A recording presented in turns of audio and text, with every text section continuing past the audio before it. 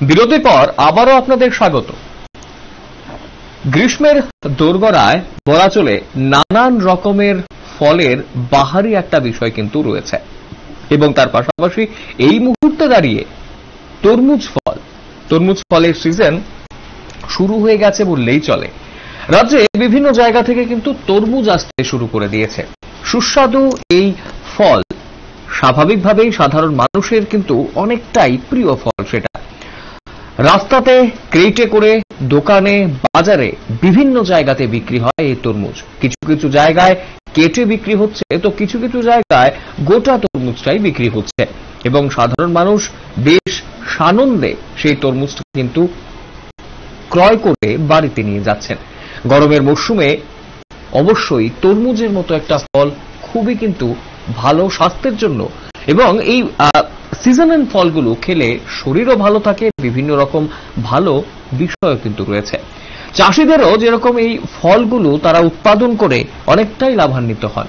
তবে তরমুজ বিভিন্ন জায়গা থেকে ত্রিপুরা রাজ্যে এলেও এই মুহূর্তে দাঁড়িয়ে রাজ্যের যে চাষিরা রয়েছেন, রাজ্যের চাষিরা কিন্তু এই ফলগুলো তরমুজ ফলের থেকে মুখ ঘুরিয়ে নিয়েছেন, এমনটাই শোনা যাচ্ছে।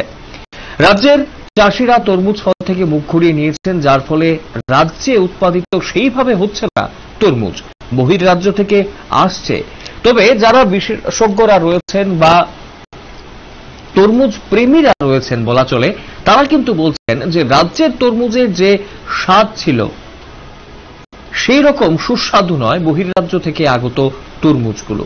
তবে এই রাজ্যের সাধারণ মানুষ বা যারা কৃষকরা রয়েছেন কেন তারা মুখ ঘুরিয়ে নিয়েছেন সেটাও কিন্তু অবশ্যই একটা লক্ষণীয় বিষয়। এই বিষয়টাকে অবশ্যই দেখা উচিত, খতিয়ে দেখা উচিত যে রাজ্যে কেন তরমুজ সেখানে উৎপাদন হবে না। একদিকে যেরকম ভাবে কাঁঠাল থেকে শুরু করে আনারস উৎপাদন হচ্ছে বহির রাজ্যে সেটা যাচ্ছে, বহির রাজ্যে বহির রাষ্ট্রে যাচ্ছে, সেই জায়গাতে তরমুজ কেন রাজ্যের কৃষকরা কেন সেখান থেকে মুখ ঘুরিয়ে নিল সেটা কিন্তু অবশ্যই বিবেচ্য বিষয় রয়েছে। এবং কৃষি দপ্তরে সেটা যদি সত্য হয়ে থাকে এই বিষয়টা নজর দেওয়া কিন্তু উচিত এই বিষয়ে। তবে এই বিষয়টাকে কেন্দ্র করে কি জানাচ্ছেন সংশ্লিষ্টরা? শুনে নেব। মালটা কেন আসে না তরমুজ? বাইরে থেকে আসে কেন? কারণটা লোকাল মালটা এখন নষ্ট হয়ে যায়।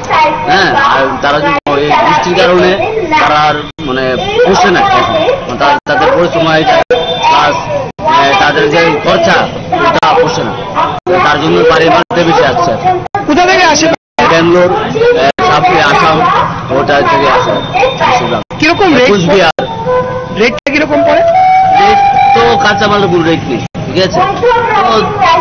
কীরকম চাহিদা আছে এবং কোথা থেকে আসে? লোকাল কেন আসছেন তরমুজ দেখুন গ্রীষ্মকালের আপনার রসালু ফসল সবাই জানেন গরমের মধ্যে তরমুজ এবং চাহিদাও এখানে প্রচণ্ড আছে।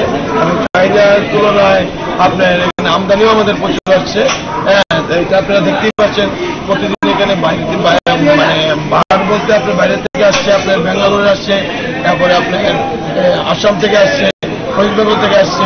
হ্যাঁ বিভিন্ন স্টেট থেকে তিন চার স্টেট থেকে এখানে আসছে প্রতিদিন। কীরকম রেট রয়েছে? এখন রেট আপনার কীরকম চাহিদা কোথা থেকে আসছে এখন তরমুজ? এখন সব বাইরের থেকে আসে। প্রচুর লোকাল